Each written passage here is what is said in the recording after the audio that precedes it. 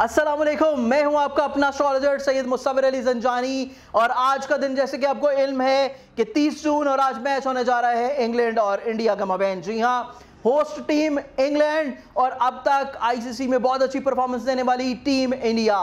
तो इसके अकॉर्डिंगली अगर हम इन दोनों के नंबर्स देखते हैं तो इंग्लैंड का नंबर थ्री और इंडिया का नंबर वन और इनके जो कैप्टन के नंबर्स हैं, जो कि इंग्लैंड के कैप्टन हैं, आयन मॉर्गन, इनका नंबर भी थ्री बनता है। लेकिन जो टीम इंडिया की बैकबोन समझे जाते हैं, और अब तक के एक बहुत ही अच्छी कैप्टनसी दिखाने वाले विराट कोहली, इनका नंबर बनता है एट तो दोनों की कैप्टनसी दोनों के नंबर्स और स्पेशली जो आज का दिन है, इसके अकॉर्डिंगली अगर हम लोग देखें तो आज का मैच ज़्यादा है टीम इंडिया को।